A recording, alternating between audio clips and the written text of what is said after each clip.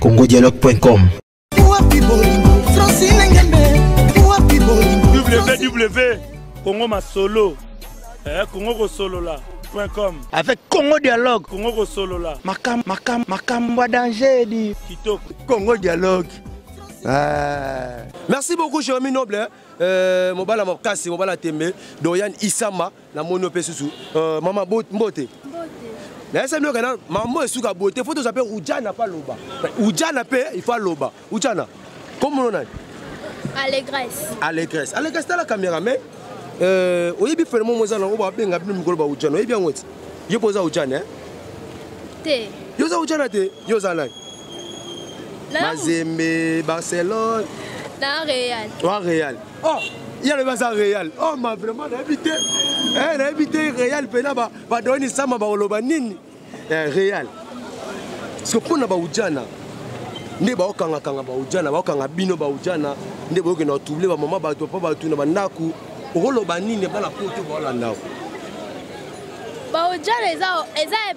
pop oyo baosalela mikolo donc eza eza nini oyo eloko bazosalela eza nini génération na bango mtu hmm? yango bazosalela yango eza hmm? ntango na bango ekoki eza ntango ya puberté oui donc eza ta puberté donc batika otiana asala mamu na ye aza na droit mpe ya kosala mais aza mpe na droit ya kosala te akozala droit kosala te na ndeni parce que na ntango ezalaka ntango oyo eza difficile na mwa jeune fille soko mizali na age de puberté ezalaka ntango oyo ezalaka trop difficile na bajeune fille yo mpe de arrive là mpe déjà ke nomna oyo mpe motu moye olingi papa bato mpe ya mokolo to ya mwa ya mokolo ah, namu te yo ozoko yo lokola oza na ojana olinga mpe kaka baojana ya mibali oza na génération ya sena omati te mais ntongo omata mpe otrouble mpe bamama bato na bandako banolela mpo na nkombo na oti ngana bana baza lokola bapapa balingaka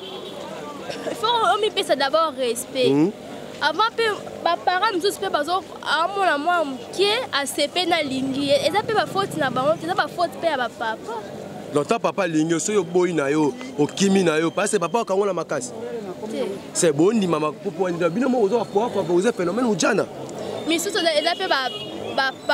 bamoyen eza te hmm. baparent baoza kosokipe na bajeune fille te hmm. yango bazoluka bakeoluka mwa pantalon basala baconquérance entre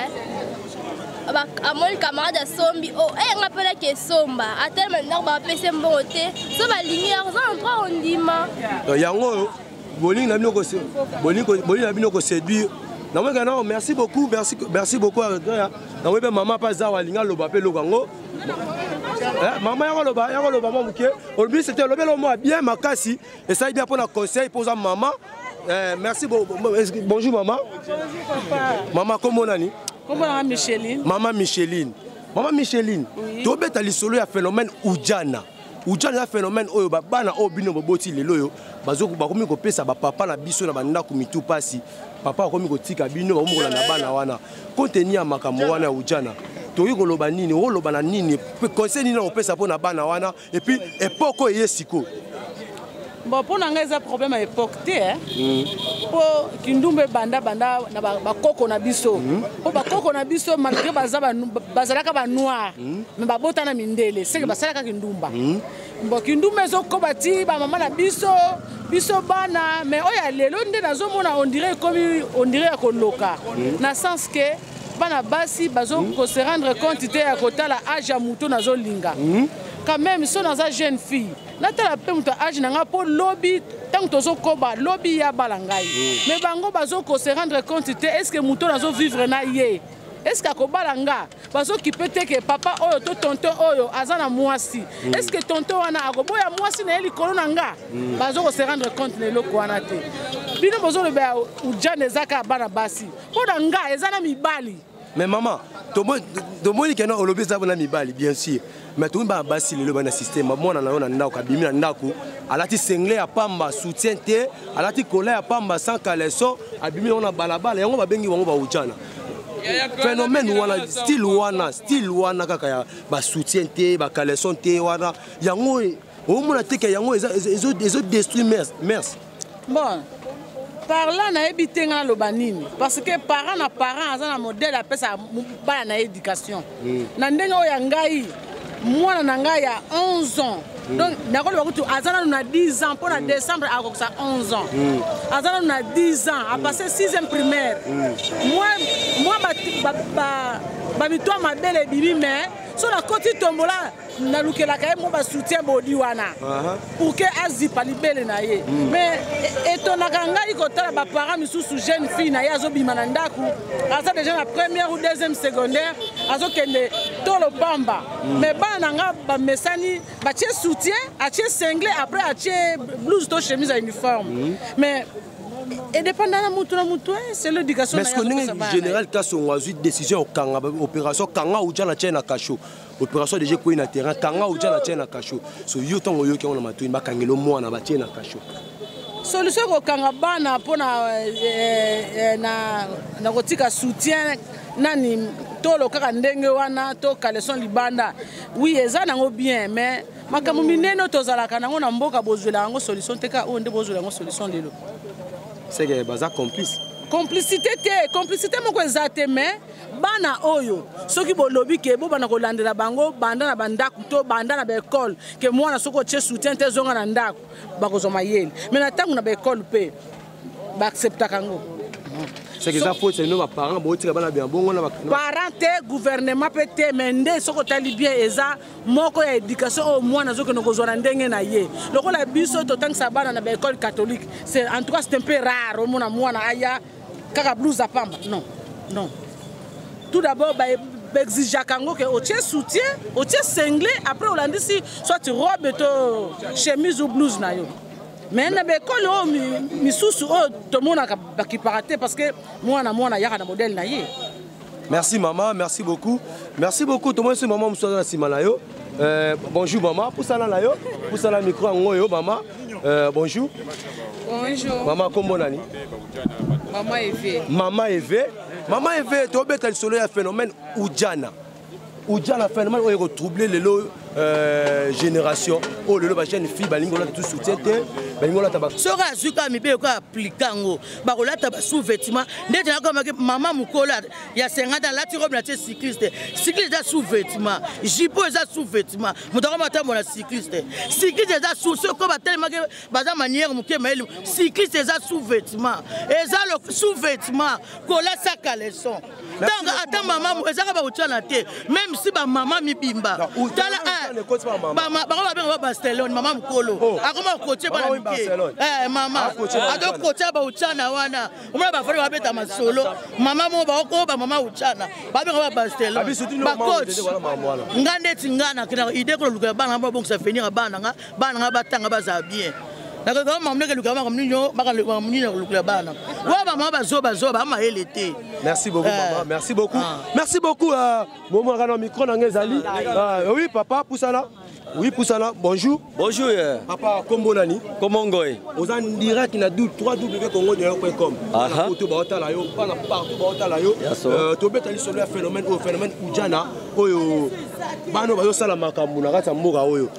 Mm. yo otaki ya papa baseke babika bino bomosepela bino nango mpo eza elongo nzela moko ya facilité kosa leka ozwi peti wana pale oke na yo oleki na yo mama azopesa motu mpasi oya mama na butu osengi mama kale atie kale na ujana otya kale te aopesa na facilité parceke yo otaki ya papa na mpo na ujana olobi nini bon makambo ya ujana wana ozolanda wana baolobaloba wana mm. eh, ata bible aloba yango mm. na mikolo ya suka tomona makambo ebele baevenema ebele ekoya koya ya mwana moto eza bilembo ebele mm. yo moto ozala kati na nzambe mm. eh? na vie de prière mm. okomona biloko wana te mm. mais soki oza na kati ya mokili okolanda mwa biloko ya mike mike wana mm. c'est-à-dire bujana wana ozolanda wana eza bademo moko batindi na mokili do demo moko akoteli mwa bana mike mike wana mm. mpo na koenvoute bapere oyo bazotambola ba père oyo oh, mpo mbongo ekumbaka motu na bafaçon nyonso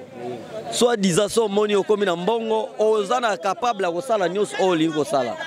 olandi ouais. c'est-à-dire eza demo yango tozoloba eza demo soit demo akokotela mpe mobali akokotela mpe mwasi eza teke demo akotelaka mwasi yango wana ozolanda bujana wana ekomi ntango ya suka c'est-à-dire makambo ekomi na suka yo mutu mibongisa yeba vi na yo ozomema mpo oza na bana mpe bana na yo bakozala mpe kaka bakobenga bango bujana ndenge obengi mwana moninga bujana do ekosukaka bongo ndenge général kasongo azwi mokano ya opération kanga ujana tie na kasho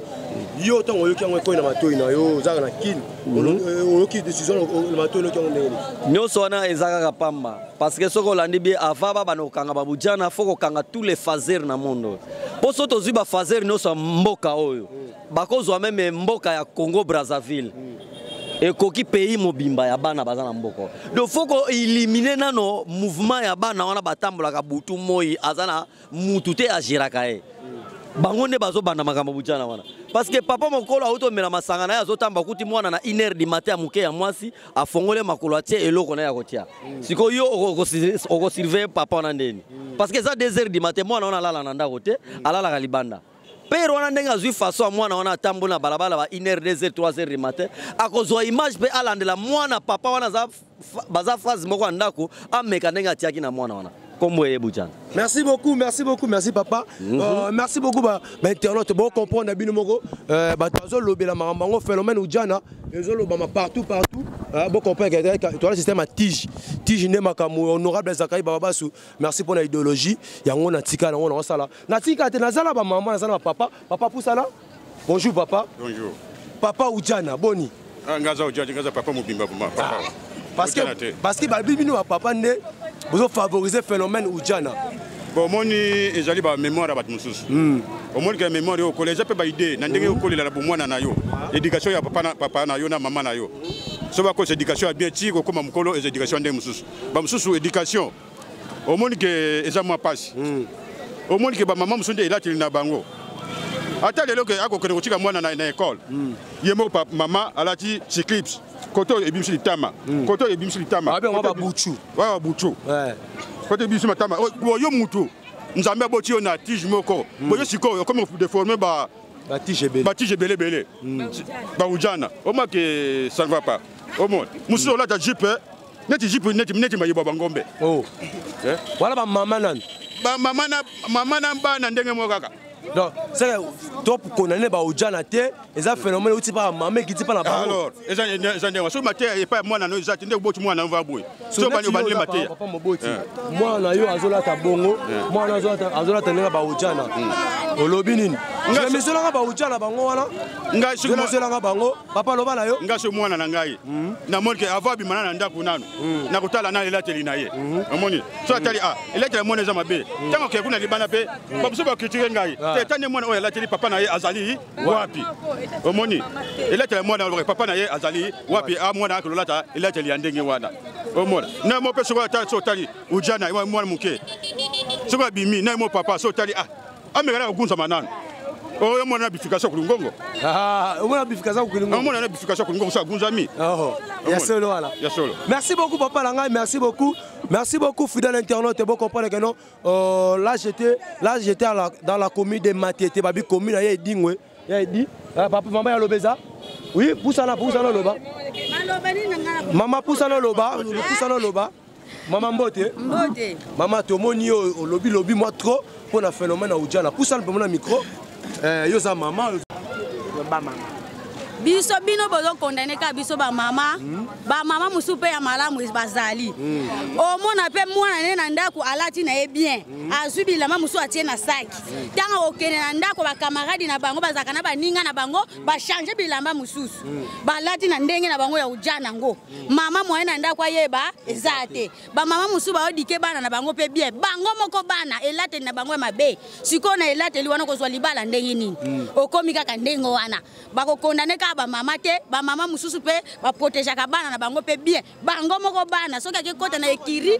na eh, ekiri moko ya malamu te eh, akolinga mwana abeba te eh. mama falinga mwana azala bien mpo biso lere tokolaki tala nano estile nga nalati omoni robe na nga eza banda likolo ti na se nakoki kolinga jamais mwana nga mwasi alakisa parti moko ya nzoto epai na nga mama na osepela te bana tozobota babotaka mwana me babotaka motema te tala ngai nasimbi saki soki moninga aye kozwa ye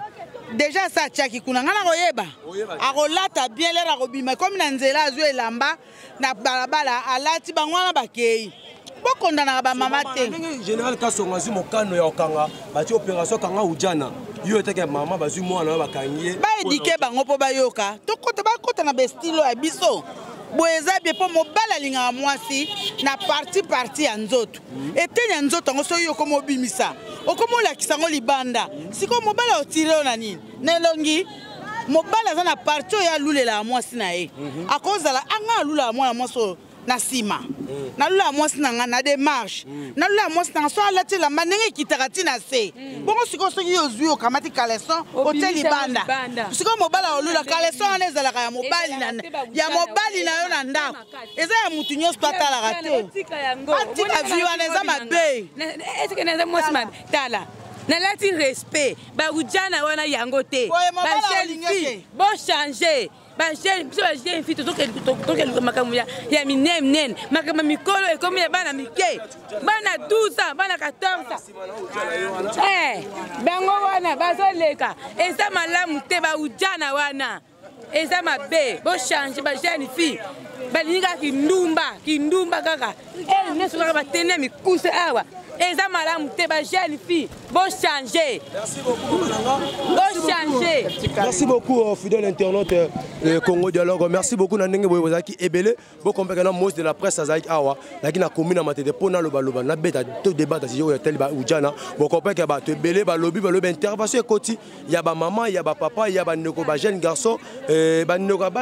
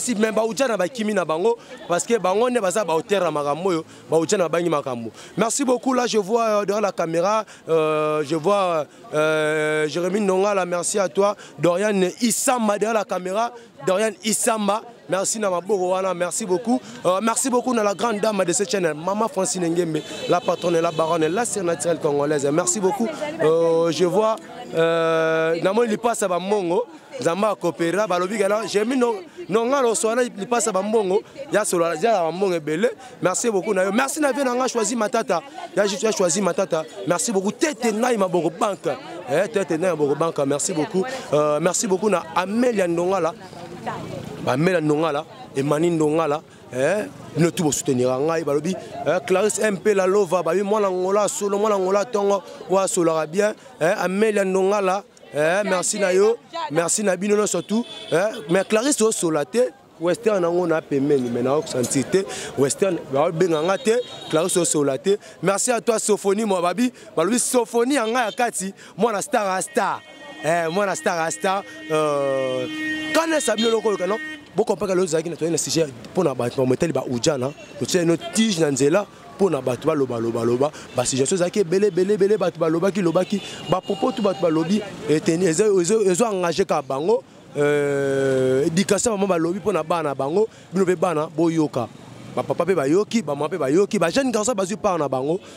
général kasongo mpe asaya makambo na ye asaya mosala na ye Mais quant à moi, je vous dis déjà que non, on va se séparer moi avec vous aujourd'hui ici. Euh, moi avec vous, tout coûte à la prochaine numéro. Maintenant, au Kabouana Bino Boété, c'est qu'elle est le message au Kabouana Bino. On peut me faire tomber, on peut me faire tomber, mais jamais me faire stopper. Le problème est que de tomber et de ne pas vouloir s'élever. Je suis le Moses de la presse congolienne. Appelez-moi Kouchi Mabaya, le Moses de la presse congolaise, le seul et l'unique. Yo mutola nangai, na peso ma pamboli, kende liboso, ponga pesa pamboli ba kulutu. Quant à moi, on se revoit la prochaine. Ciao.